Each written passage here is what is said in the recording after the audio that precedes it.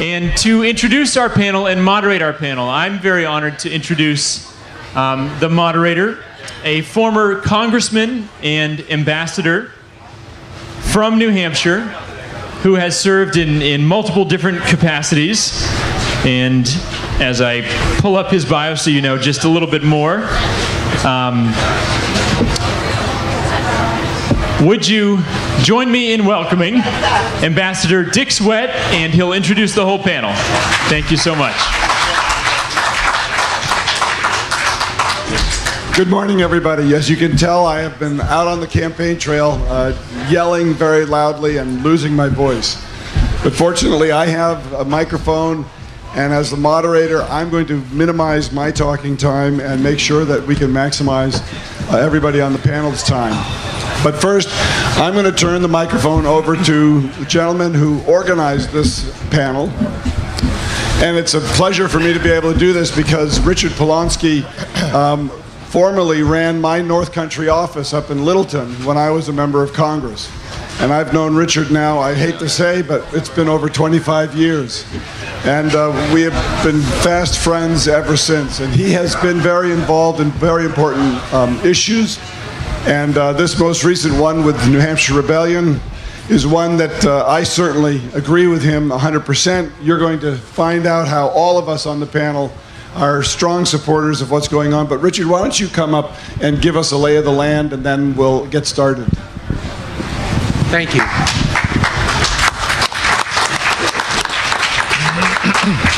I'm on the staff of uh, Open Democracy, and microphone. Can you hear me?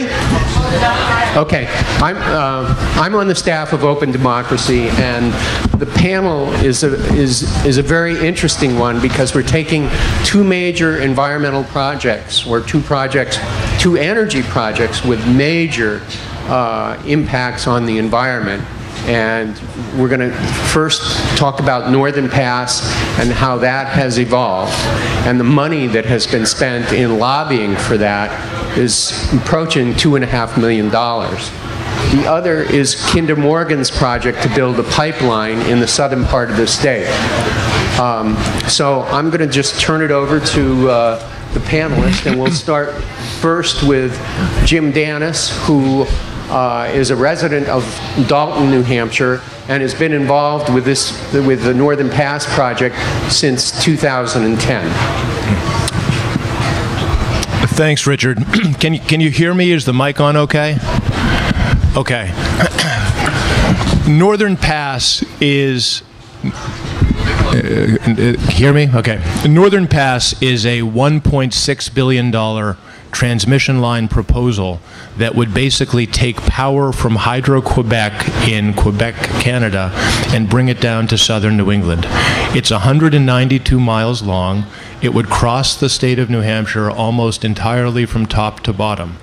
There's a critical thing about this power line, which is it is a private for-profit transaction. So it's not like the line that goes to your house to allow you to turn your lights on.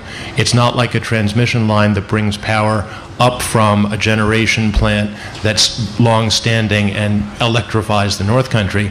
This is a private transaction designed to make money for Hydro-Quebec by creating a new market. There was a, a, call yesterday by Eversource. I still call them PSNH because I've been around New Hampshire for a while. There was a call by Eversource PSNH where they talked about the project in the markets.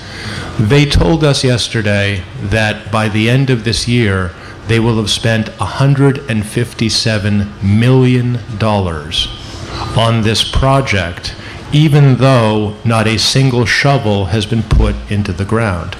All they've done with this money so far is to create a plan, to create influence, to continue the process um, by which they, they set all the pieces in place to get an approval and allow these profits to be made. Hydro-Quebec has announced to the public it will make $200 million a year in profit by selling power over this line.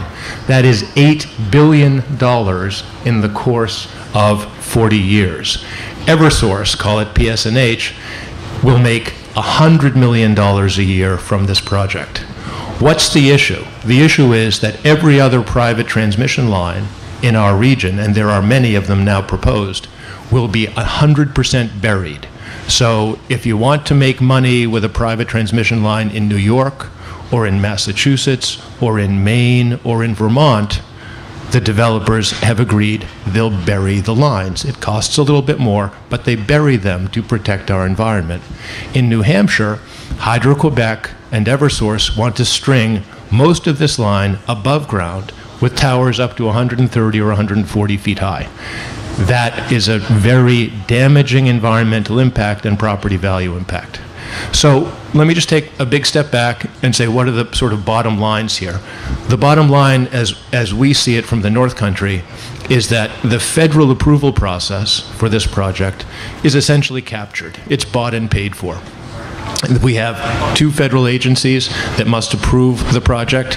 As far as we see it, they're simply going to approve it because they'll approve any new transmission, regardless of the public interest, and only by making sort of a gesture that they're listening to us.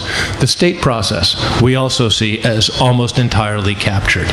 Uh, Northern Pass has nine lobbyists who work for them. They can seep through and influence Concord in ways that ordinary people cannot. So we see the state process as essentially bought and paid for as well. Um, the opposition is a citizens' opposition. It's not organized. There's no sort of committee that says how things are done or sets the rules. People do what they should do, and Rob will speak about what Concord has done. The citizens' opposition has had two major successes so far. Number one, um, they took away the right uh, by legislation for this line to use eminent domain to seize property. And number two, number and and Brian Brian Tilton played a big role in that. Thank you, Brian. And number two, uh, Northern Pass has now agreed to bury this line in part around the White Mountain National Forest. Those are the two successes. There are many more fights to be had. Um, we've been at this now for five years and we expect to be at it for five more years. Thank you. Thank you very much. We will now hear from Rob Werner, uh, who was referenced in the first uh, panelist's remarks. Rob serves on the Concord City Council. He also has other responsibilities um, in, in the environmental NGO sector. I'll let him tell you about a little bit about his background, and then more importantly, he's going to share his perspective and what is happening on the on the Concord City Council with regard to the Northern uh, Pass pipeline. Rob. All right. Thanks, Dick. So, um, I think that many of you know that with this project that, that uh, Concord is one of the more affected communities uh, in the path of the project. Um, Appalachian Mountain Club report references that. The towers have to be particularly high in Concord uh, because of the aspect of uh, transmission at that point. It does use the existing right of way for those that are uh, familiar with the Steeplegate Mall area and the towers that are there now. So if you envision driving down Loudon Road in Concord and see the approximately 60, 70 foot towers that are presently there, envision them to be twice as high. And that is a, a great concern to that area, and it's, an, it's a great concern to some developments that uh, would be very affected as the line moves through Concord. Um, the Concord City Council, uh, a number of months ago, we voted to convene a special committee to uh, get input from Concord residents. We did have a number of public hearings.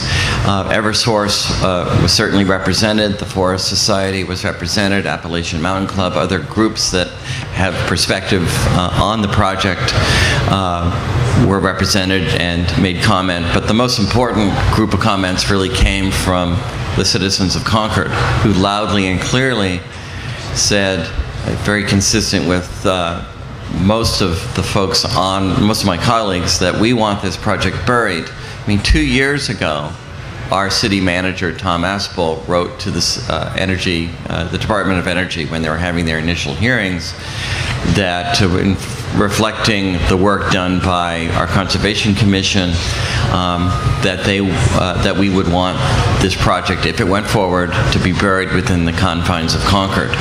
Um, That's really, you know, what, what we can do in terms of a public statement, and, and Concord does have a continuing representation um, with the Site Evaluation Committee as an intervener. Um, So we're doing all we can to educate folks in Concord ab- about this. Um, It's interesting to me that um, a couple of years ago, and I think things have changed markedly in terms of public perception within Concord and Concord area, when we first really started talking about Northern Pass from a Concord perspective, there were a lot of people in the city that said, well, I'm not really sure how it affects Concord because it seems to me that it's a northern New Hampshire issue. Obviously, they had seen all of the publicity and, and the agitation in the North Country from where my colleague here lives, but people didn't really have an appreciation until relatively recently in terms of the impact of this project on the city of Concord. Um, so, you know, we as a, as a city council um, have weighed in. Most of the other communities along the path of the project have weighed in, asking for uh, this project to be buried. The city of Franklin, uh, notably, uh, is on the other side of the issue.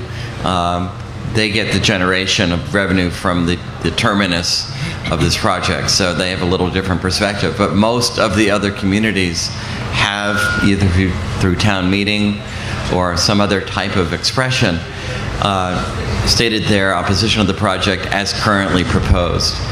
Um, I think that the connection with money and politics is truly significant in terms of the amount of money that's been spent and the amount of uh, effort that's been made to really try to uh, communicate public support for this project, which if you look at polling uh, that is done by UNH, it's, it's either very split or in opposition. As people learn more about the project, they tend to become more opposed to it. But was one of the things that is a, a classic sort of strategy of uh, sort of political uh, involvement in these kinds of projects and, and a PR aspect is what's called, uh, in political terms, astroturfing.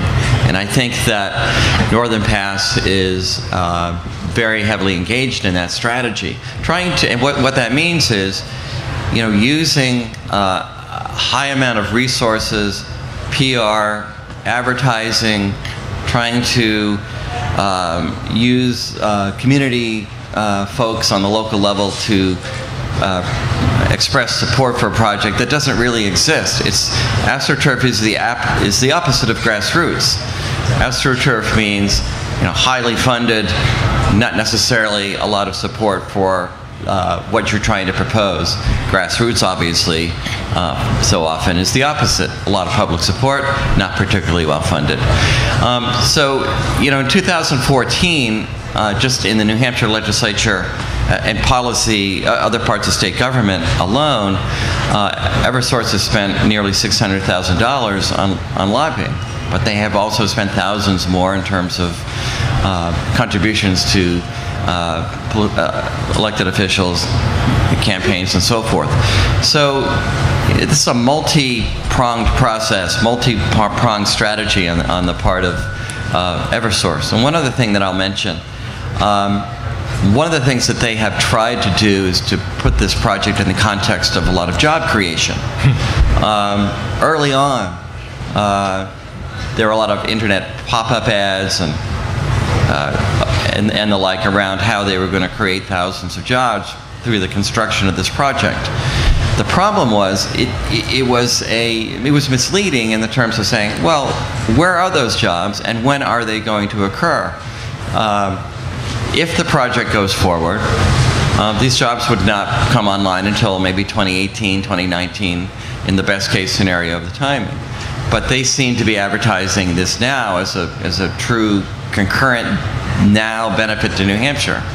Not quite accurate. So I think that they are trying to put this project in the best light possible, spending quite a lot of resources trying to influence the process. But we as communities along the path of the project will continue to uh, fight hard to make our views known And as the site evaluation process continues, and through our intervenor status in that, we'll just continue to to make sure that our views are are front and center, and that we can try to influence the ultimate outcome. Thank you very much, Rob.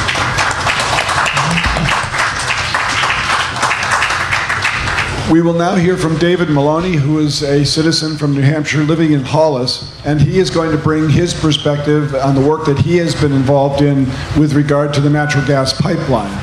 So, David, the microphone is yours. Thank you. Um, so this uh, work that I'm involved with is, is called the the project is called the Northeast Energy Direct Pipeline Project. It's being um, put together by a, a company called Tennessee Gas Pipeline. The owner of Tennessee Gas Pipeline is Kinder Morgan. They are the fourth largest energy company in the United States. Um, they uh, have they uh, made the proposal for this back in 2012 in Massachusetts. It was originally going to go almost completely through Massachusetts. Uh, there was a lateral across, and this is a, a transmission line, I should say. Um, it's um, transmission line. Uh, it goes at about 1400 psi um, in terms of uh, the pressure that runs through this pipe. Uh, it's going to start in, um, in, in New York, uh, in a town called Wright, Wright, New York, and it's going to go now uh, in, in its new route about 70 miles through Massachusetts and then about 60 some odd miles through New Hampshire. And it, its destination is uh, Dracut, Massachusetts. So it'll come up through western Mass into New Hampshire, pretty much across all of all through southern New Hampshire, and then find its destination in Dracut. From Dracut, um, which is a hub, it can be distributed in many directions. It can be distributed down through Massachusetts, up through New Hampshire, through Maine, and uh, there is a direct connection to um, export terminals uh, in Nova Scotia and uh, New Brunswick. Uh, so that's the project. Um, it has, I guess I, you know, um, like to talk a little bit about how it contrasts with Northern Pass and how it uh, is similar. Um, captured, absolutely. Uh, there is uh, uh, regulatory capture is the biggest problem with this pipeline. Um, the Federal Energy Regulatory Commission. If you've not heard of that commission, you should. Um, some people are familiar with it because of uh, the, you know the work that was done with Keystone XL. If you were involved in that at any level, you may be familiar with that uh, regulatory agency. But it is. Um, and like, I guess, like all agencies, um, it has its own um, uh, very uh, interesting mechanisms. It doesn't pick winners and losers in the marketplace. It just simply decides that if you have contracts, you must be, um, you know, the public must need you. Um, I don't know how that equation squares with you, but it doesn't square very well with me. It seems to me there's far more dimensions to how you determine need than whether you have a contract with a company or not. Um, uh, it has rubber stamped every project that has ever been asked to permit except one. And that one permit that it did not provide was through a, uh, a coral reef in Florida.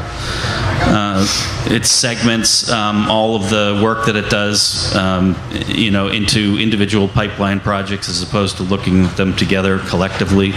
So, um, and uh, there's a lot more, but um, in terms of so, so it really is a, a captured scenario that we're in. Um, one other contrast is this difference between federal versus state. So, where much of what's going on with Northern Pass is a state level issue, and the Site Evaluation Committee in New Hampshire has ultimate authority over its approval or not. It's just the opposite in our case.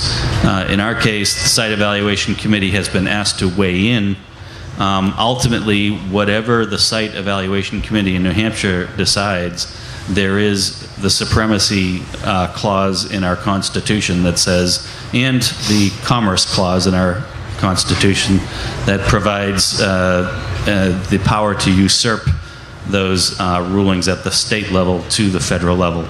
And the Federal Energy Regulatory Commission uh, once this project is approved, if it is, uh, is in in um, the, their job effectively is to expedite the permitting process. Um, that is their that is their actual job. So.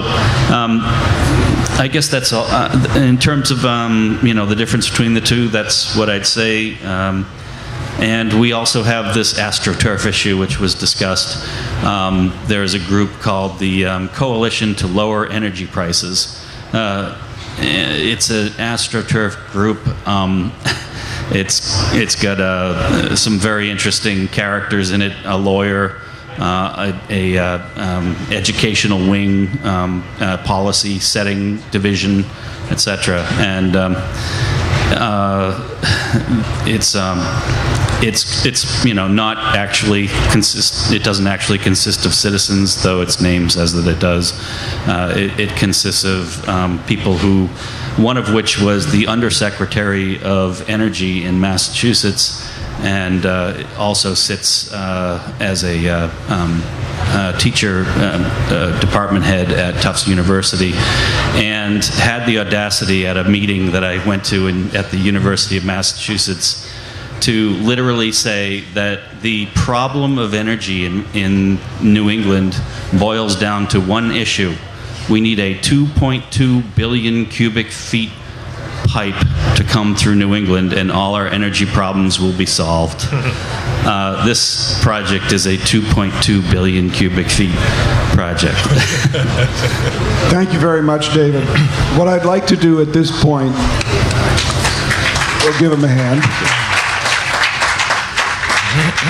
What I would like to do at this point as the moderator is to first take a few minutes to talk about the technical aspects and just draw out the similarities and differences a little bit more. And I'm going to tell you a brief story to, to help set that stage. And then the remainder of the morning's discussion, um, which I hope will be somewhere between 20 and 25 minutes, will be to talk about the, the astroturfing aspect, the lobbying aspect of these projects. And the story that I'd like to tell you really is about the, the uh, uh, the, the birth of the political awareness in my life.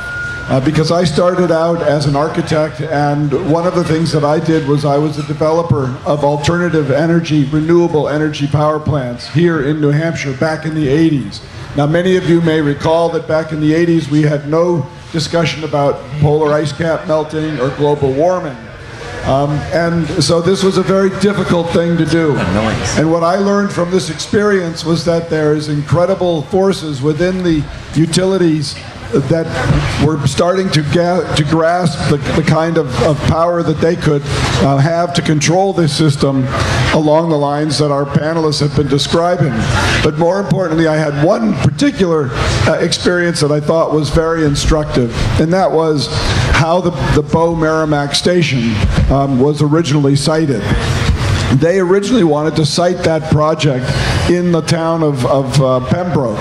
And uh, when they went to Pembroke and they, they asked the, the town fathers um, if that could take place, um, the town was receptive until one thing occurred, and that was that they discovered that the, the, the pollution, the soot from the uh, smokestack, and you have to remember this is back in the 60s, the soot from the, from the smokestack would, would be distributed downwind across the entire town, and so that you would literally wake up in the morning and be able to take your finger and, and get a black smudge off of the soot that was on the, on the top of your car or any of your property. And so the town decided that they did not want the station located in Pembroke. So what did PSNH Eversource do at that time? They then relocated the, the site across the Merrimack River because they needed the water resources of the river and put it in the town of Bow. Now, what happened in Bow? Bow accepted the um, application. The, the facility was built. But what happened? The downwind carrying of that soot carried that wind, carried that soot downwind over the town of Pembroke, and Pembroke ended up getting the soot on their cars just the same. And what that pointed out to me were two things. One, that there needs to be a broader coalition of people involved in watching how these projects are developed. And number two, that we needed to develop renewable resources and renewable energy in New Hampshire that was totally dependent on the local economy and the local geography. And that's why I got into the business at that time. Now, what we're seeing are these projects that are either bringing in clean, renewable energy, such as hydropower, but from outside the state or outside the country in Hydro Quebec, or we are bringing in yet another fossil fuel that will be implementing and distributing that natural gas in the marketplace here in New Hampshire. The first question on the technical side that I want to ask the panelists is, in the case of the of the Northern Pass pipeline, what would happen, Jim, if well, first of all, I'm assuming that you have enough background information to be able to share with us the economics of having that pipeline fully um, put underground and also sized with enough capacity so that our own natural resources like the biomass facilities that we can produce in this state could actually use that north-south transfer of that, product, that uh, produced energy to um, meet the demands of New Hampshire's energy supply. Because my feeling is, is, that we want New Hampshire to be totally independent. So if you could address those two issues, sure. and then we'll move on to uh, the next one. Yeah, Dick, that's a that's a great point, and let me take the second one first. And Dick's question is, well, so we're building this great big new transmission line how can New Hampshire renewables business take advantage of it? Answer, you cannot. This transmission line is built, how can, what's an analogy? Like an elevated rail line in through a city that doesn't actually have any stairs going up to it. So basically, it runs right through you and it goes all these places you might want to go, but you can't wa- walk up to it and get on. Literally, this line is unavailable to any producer of New Hampshire power to move that power elsewhere in New Hampshire or to other markets. Why? Because Hydro Quebec has bought and paid for 100% of the capacity. Dick's second question was well, what does it cost to bury the line? Interestingly, in the federal and New Hampshire political process, um, there has yet to be any politician or agency who has forced a clear answer to that question, which I personally think is a travesty.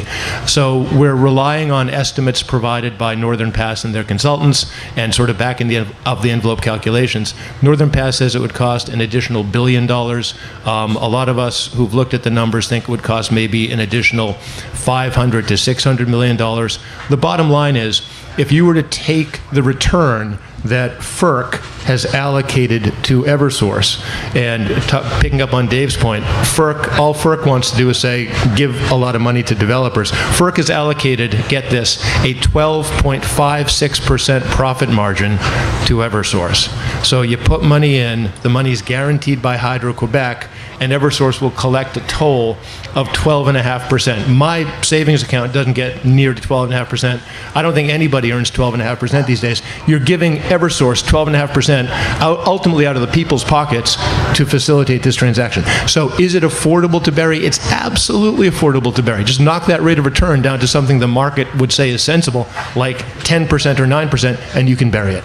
That's the point that I was trying to bring out. Thank you very much, Jim. Um, and what we need to understand is so if we have the extra capacity, if we can bury this and it's economically feasible, this project could possibly go through and could have a benefit to the northern, uh, northeastern region.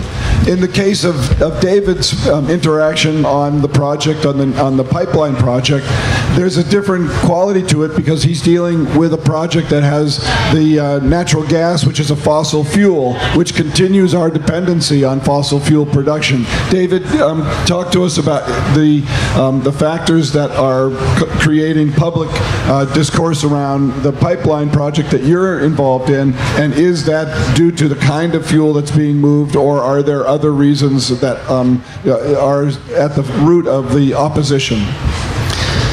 So the opposition uh, is against um, the, the opposition is on many levels. We have a local level opposition, which is um, effectively 20 towns in southern New Hampshire that are affected by this pipeline project, one of which is going to get a compressor station, which has enormous problems in terms of health risk.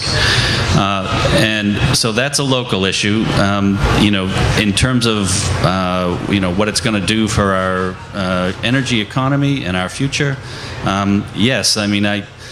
I, I, tend to look at this in uh, very global terms. I think in terms of paradigm shifts. We had a paradigm shift that went from wood to uh, coal years ago. It then went from coal to oil, and now we're faced with a situation where we're either going to go from coal, uh, oil to gas, and then to renewables, or we're going to go from oil you know, this sort of bridge idea, this bridge notion about gas, and then to renewables. How are we going to do that? And really, honestly, it comes down to uh, we can't afford it. We honestly, as a, as a country, as a nation, as a world, there is no chance for us to afford that transition because each one of these transitions takes about 30 years to implement. And what, what the pipeline company is trying to do is establish that 30 year infrastructure that will bring them out of coal and into uh, gas. Another thing to keep in mind the price of oil right now $440, less than $40 a barrel. At $40 a barrel, it essentially has a price equivalent to gas that makes it just as economical to burn as gas does. So there's no longer a price advantage under the current market.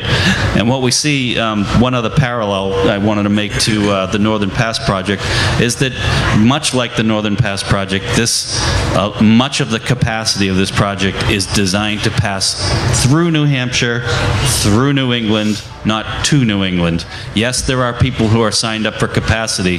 At the moment, that capacity is at exactly half the size of the pipe. So the rest of that pipe is, and, and the 50% because we don't use it all year long, it's basically over, uh, over capacity, a massive overcapacity, and massive underutilization of a very large pipe that we're going to pay for. Thank you very much. And, and, it sort of adds to the very good analogy that Jim gave us of the elevated rail that runs through New Hampshire with no stops in New Hampshire. So we have no ability to have access to that rail. I'd like to ask a question now with Rob, who is coming from the, the public representation side of things. He serves in Concord on the Concord Council, but what I think he also has a very good sense of because of his other job with the League of Conservation Voters is how have communities been able to unite and in that unity do they have the same voice as the uh, lobbyists who are working for these projects. And Rob, if you could give us a little bit of background on, on how much influence you are able to engender as a public citizen representing the city that you serve and how you, you can coordinate with other communities. Um, is that actually an effective way of working or are there problems with that that you're um, seeing a real need to be addressed? Well, I think the, the largest limitation that we have as communities is that we don't have direct control over approval of the project. We can make our opinion known, and uh, we've done it very strongly as uh, most other communities, as I mentioned, along the path have done. Um, I think the uh, organized opposition, particularly in the North Country, has been quite effective in terms of getting the project parameters known to the general public and I think influencing public opinion that way. But at the end of the day, uh, we are very much outgunned in terms of the resources that are on the other side. And, you know, so we're really needing to rely on um, a process in which, frankly, uh, we can state a strong opinion, but we don't have ultimate control over it or decision making authority over it. So it is a you know, it's a difficult situation to be in, uh, but we will continue to, to, fight on that and try to get the, the word out. You know, I want to take a, a, a, second to add to the technical aspect. I mean, burying this project is certainly not a technical issue. Look at projects that are happening in other parts of the region. You know, particularly the project coming down from Hydro-Quebec to New York City through Vermont. That's going to be buried the entire way. Part of it's going under Lake Champlain. So it is not certainly not a technical problem. Uh, Northern Pass states that uh, you know burying this project would you know be a non-starter in terms of uh, the cost to consumers. But even if it was, it is it is more expensive. But as been pointed out, it's marginally more expensive. And isn't that worth you know preserving our uh, way of life and the economy that we rely on, and you know what makes New Hampshire uh, New Hampshire. It makes us special. I think it, I think it certainly is. So uh, don't be fooled by um, all of the uh, uh PR that's coming out of, out of uh, the, the, folks who want to, to push this project. You know, so, uh, there was a state senator said, you know, it's like running an extension cord from Hydro-Quebec from Canada down to Connecticut you know, and we don't benefit. So that, that certainly is a big problem. But you know, the bottom line is, to answer your question, we, we, we are outgunned. We need uh, uh, more organized opposition. I think you know groups like the Forest Society, Appalachian Mountain Club have done very good work. But at the end of the day, I think it points out in terms of a, a real imbalance of, of political power and, and authority in the process to to make our opposition stick. Thank you very much, Rob. And unfortunately, we've been given a five minute warning, so we are going to have to conclude this panel's discussion at this time. But what I would like to do is, in that conclusion, give each of the panelists an opportunity. We've heard of two projects, we've heard of three per perspectives on those projects. We've also heard what the challenge is. And obviously, one solution could be that we have to have as much money as, as the lobbyists, and we uh, have that money to use in order to raise our voices. I don't think that is a reasonable a possible or even appropriate approach.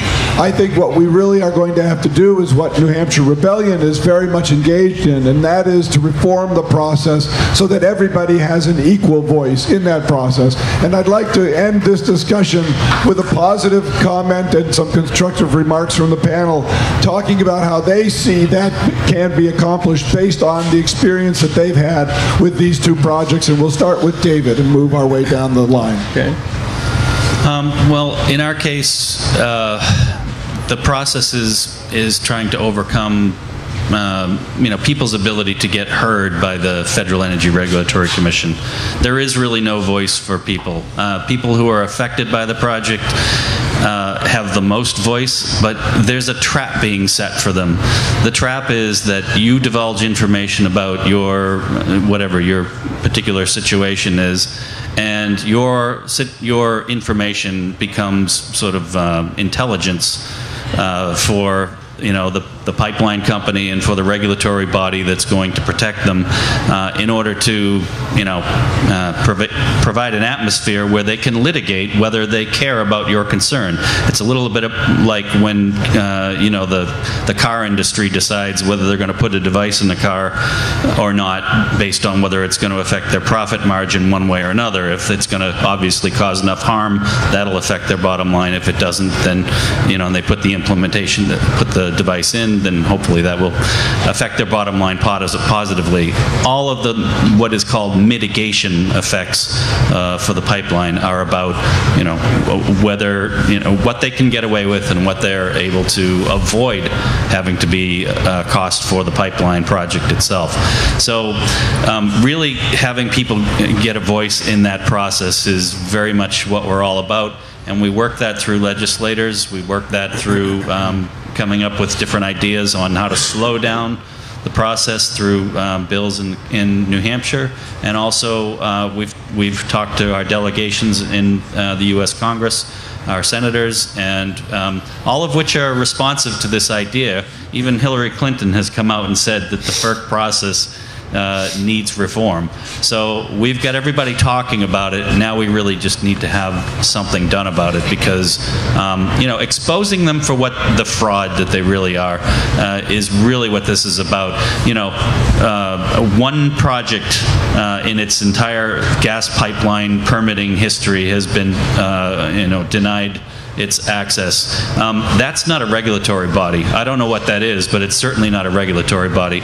And um, to be able to start looking at these projects from a, a more jaundiced perspective is really what this is all about. This is this particular project is about expansion into export markets. It has nothing to do with you know people in New Hampshire.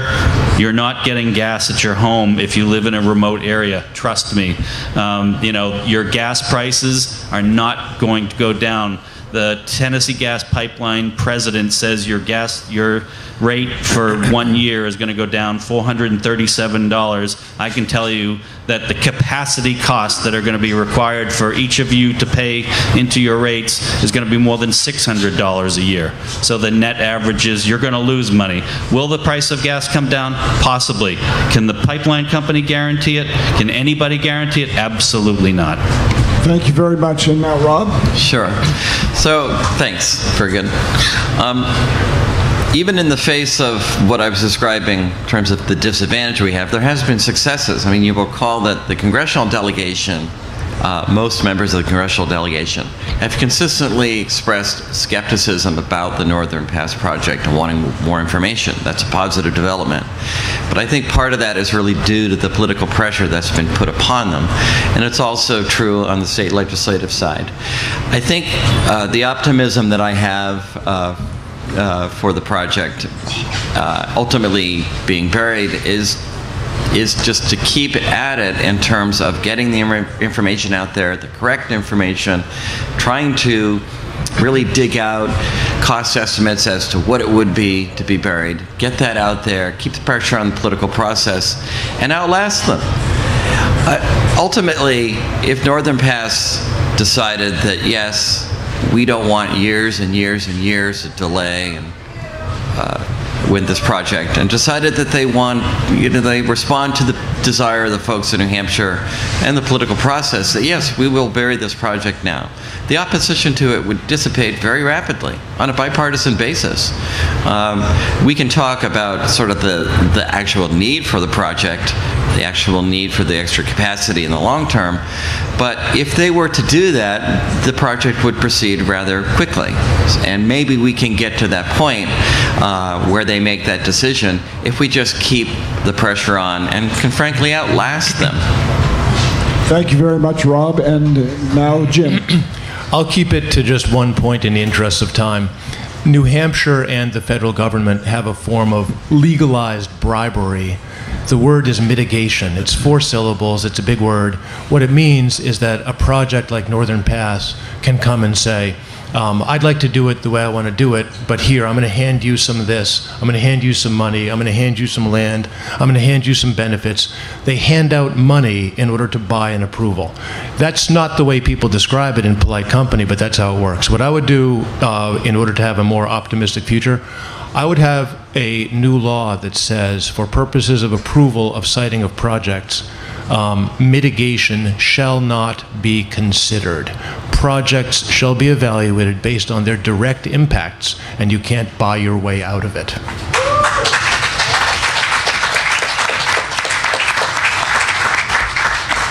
I would like to take this opportunity to thank, first and foremost, all of you in the audience for attending and listening to this discussion.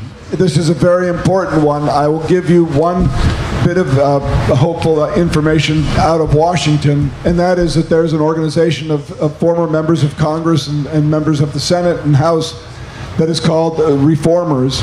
And the Reformers are a bipartisan coalition of over 140 former members who are trying to take a fight on these particular issues of money influencing in public um, programs and policies and, and to change that.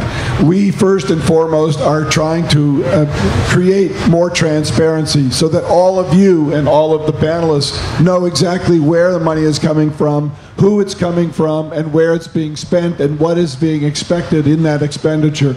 But more importantly, this group of reformers, like all of you in New Hampshire Rebellion and the folks who are dealing with all of the issues with regard to campaign finance reform, this is a very important topic that has to be continued not only throughout the campaign of the 19, of the 2016 um, election cycle, but whoever wins, and we hope it will be someone that has a very strong predilection to fighting for this issue, it will continue into the White House, it will continue up onto Capitol Hill, and that we will ultimately be successful in bringing transparency and equality in the process of our uh, public uh, policies in this United States of America. So thank you for the panelists, thank you for attending, and we look forward to continuing this discussion.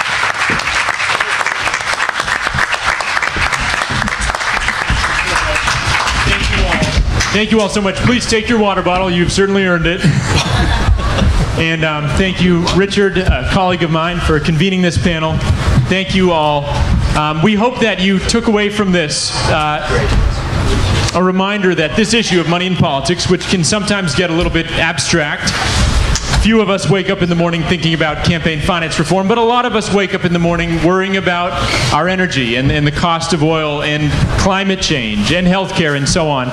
And so we wanted to offer at least one of these issue panels to focus on the issues. And we hope that you will take away more than just this conversation, but go around to the tables uh, that surround the perimeter here, including there is one for the Pipeline Awareness Campaign, a campaign of grassroots citizens, much like the New Hampshire Rebellion, that is trying to push back against this pipeline. Um, so please take this chance to get involved.